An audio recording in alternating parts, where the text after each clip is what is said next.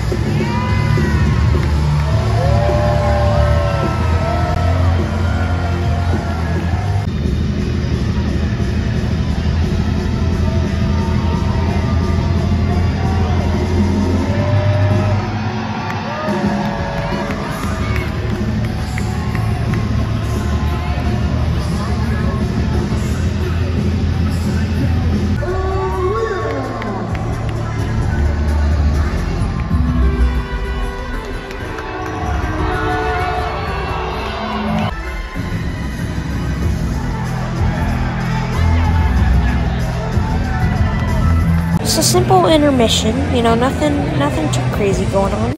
But Byron comes out into the crowd and I was the first person to really notice Byron just walking around and I was like, "Byron, get me a photo. Come on." And Byron came over and he took a selfie with me and oh my god. You can tell by the look on my face, dude. I was I was so happy. I didn't even know what to do with my smile. Like, bro, how did that happen? But that's that's not it. Just just just wait. Just wait. Okay? We're not even done there. Yeah, Byron! All the kids. That's awesome. Wait!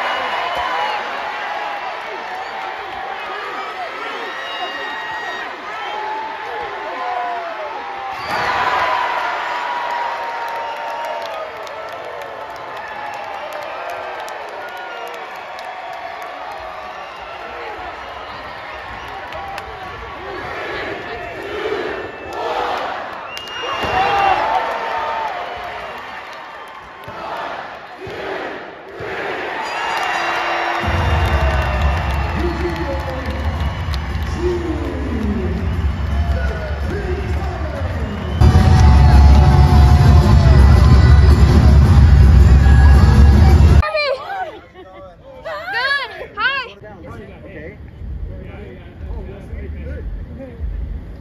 There we go. For him. He was waiting for you. Yeah. Thank you. Thank, Thank you, so Drew. Much. See Thank you later. Drive back. There's another car. Right there.